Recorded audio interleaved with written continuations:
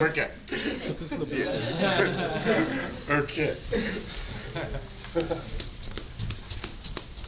Hi, everybody. Hi. I am so grateful to have this chance to speak with you tonight. I want to talk about the law of attraction, which isn't a religion, although it saved me. And it's also called the universal manager, so it has a spiritual aspect. And I, it goes by LOA, Law of Attraction, and I have a cartoon strip about it. And my cartoons are available at riverville.com, my cartoon website. So, the law of attraction states that that which is like unto itself is drawn. And actually, it organizes our experience here on earth. It's pretty cool how it works. It's an impersonal law, just like the law of gravity. The law of gravity doesn't care who threw the ball up in the air, it will come down. The law of attraction doesn't care what you focus on, you will get more of it. So whatever you focus on, you're going to get more of. And it responds to your feelings. And thought also false feelings. If it could talk, it might say, wow, she's focused on feeling good. Let's give her more things to feel good about. That's how it works. I was raised in what I call poverty consciousness. Poverty consciousness teaches that you have to work hard for everything you get, even then you might not get it, and there's not enough to go around. Well, the opposite of poverty consciousness is called prosperity consciousness. And prosperity can apply to health, relationships, and finances. it's not just finances. It's also health and relationship. And prosperity consciousness says that this is an abundant universe and you can have whatever you want. There is more than enough to go around and by asking, you actually help the universe to expand. You help the universe expand by having fabulous wants. Now, it's said that we choose to be born into this world of contrast so that we can have preferences. contrast is anything that shows up in your life that you don't like or you didn't ask for, you wouldn't have wanted. But that doesn't mean it's a bad thing. Like I can have an example. Say I have mice in my house, and then I get rid of them. Well, I'll sit around and go, oh, it is so great not to have mice anymore. But if I'd never had mice, then I wouldn't ever think about how great it is not to have them. So contrast gives makes the removal of it sweeter and more delicious than it would have been without it. And supposedly contrast has its place in the scheme of things. For one thing, we're always having preferences about what we want. if I'm cold, I want to be warmer. If I'm hungry, I want to get something to eat. And if someone's not nice to me, I want more kindness. So we're all coming up with preferences every minute of every day. We're having preferences. And in the Bible it says, ask and it is given. Well, that's true, where's my stuff? But the fact is, it's given on a frequency and vibratory realm. So your inner being, also known as your higher self, immediately begins to enjoy those things you've asked for in the realm of the non-physical. And the way that you get it to show up in your life is that you raise your frequency to be a match for that which you've asked for. and the way to do that is to do give thanks in advance for having received it and to do a happy dance. It's here, yay! Now this chart here is uh, emotional set point list. The high at the top one, the highest frequency, joy, love, also includes appreciation and gratitude. Those are the highest frequencies. When you are running that kind of energy, you are connected to source, great creator, God, universe, whatever you want to call it. And that's where your inner being hangs out. The lower frequencies are um, the things that don't feel so good. And if you're doing stuff that feels good, you are on your path. Good is good. Not good is not good. It's as simple as that.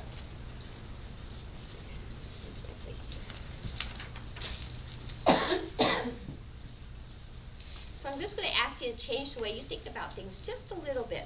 I think all of you actually know this information at some level, and I'm just here as a reminder person. So if you take a moment and think about something you really want. Anybody think it's something you really want? Maybe you want it for a while.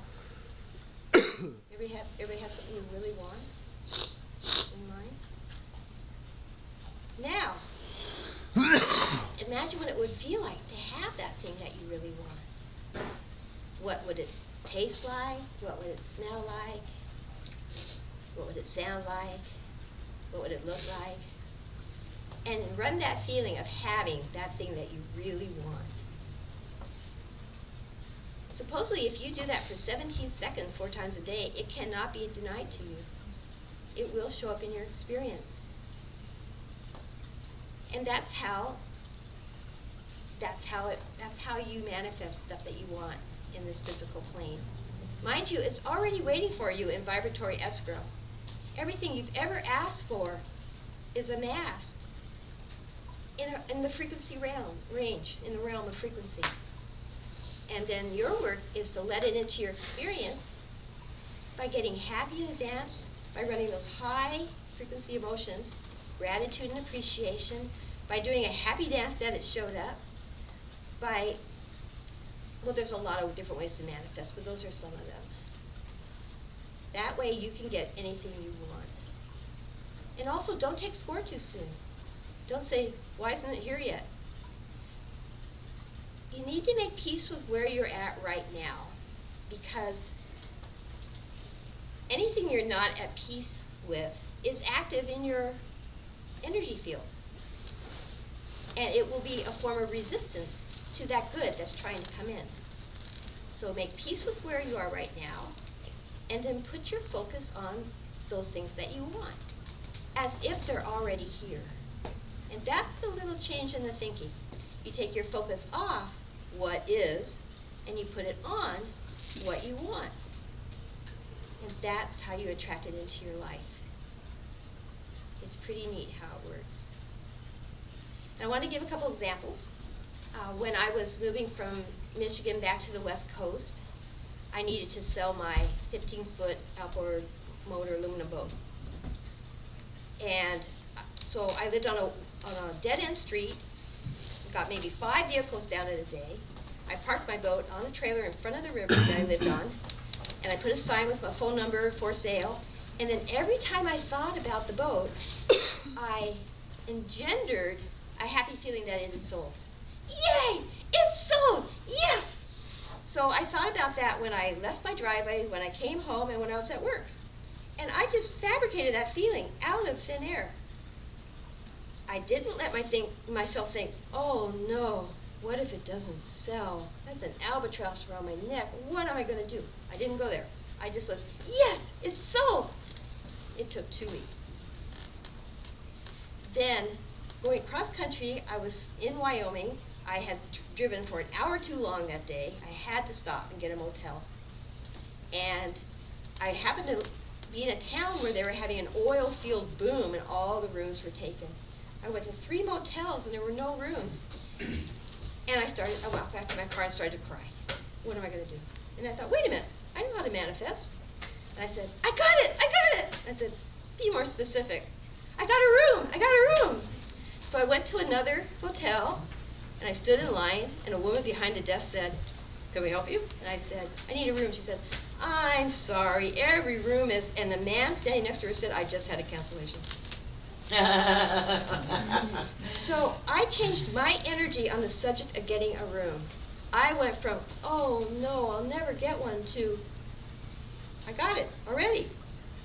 I gave thanks in advance. I changed my energy. That plugged me into the timeline of receiving that which I had asked for because by changing my energy around what I wanted, it made it possible for it to come into my experience. I lined up my frequency with that with, that I was asking for.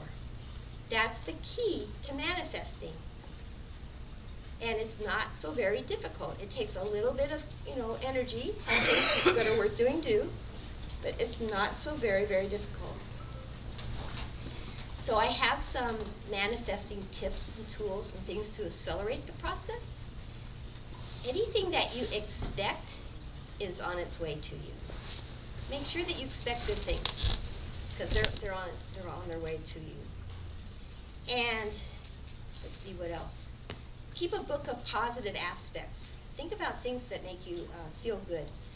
Uh, count up the blessings in your life. Like recently, I've had some um, some pain, but my pain will go away faster if I think about what's going right. If I take my attention off what's going wrong and think about what's going right, I'll feel better sooner. Then uh, other things you can do are, um, well, the, my very favorite one is find something to be happy about. Just find something to be happy about. You're going to have a good life if you do that. This list is useful because if you find yourself one of the lower frequency emotions, you can incrementally work your way up to a higher one. And each one gives relief from the one directly below it. So if you go from insecurity to doubt, it will feel like joy. You don't have to go all the way to joy to have the experience of joy. Well, the first time I saw this list, I went, oh my God, I've spent my entire life vibrating at disappointment, which is number 12. 12. I remember when I was four years old, and I decided, you know what, I've been so disappointed up until now, I might as well just expect it. Well, that disappointment is a particularly dangerous one to get stuck at because people will line up around the block to deliver that to you if that's where you're vibrating and they think it's what you want because that's what you're putting out, asking to have come back. Law of attraction will deliver it. I'm focused on disappointment. Let's give her some disappointment. It doesn't ask, is that good for her? It just says, that's where she's focused. That must be what she wants. And finally, by looking at that list, I released my need to be disappointed, and I intended something better for myself. And I got that. I let, let go of the disappointment. Now, I had a girlfriend who lived in overwhelmment. She went through her whole life feeling overwhelmed. She had an irritating roommate, and that gave her relief from always feeling overwhelmed. Because irritation is right above overwhelmment on the list. So that's how the list can be useful for uh, incrementally working your way up out of wherever you might find yourself to be stuck. And I think a full life one feels all these things at some point. The trick is just not to get stuck in the lower ones because they're a point of attraction and they're not good ones. So spend as much time as you can in gratitude, appreciation, love, and joy, and you're going to have a good life. It's as simple as that. And if you uh, also make peace with where you're at, if you have a tendency to wear a chip on your shoulder, take it off. Stop complaining if things aren't going well. And find things to be happy and grateful for. And that will really help you out. Thank you.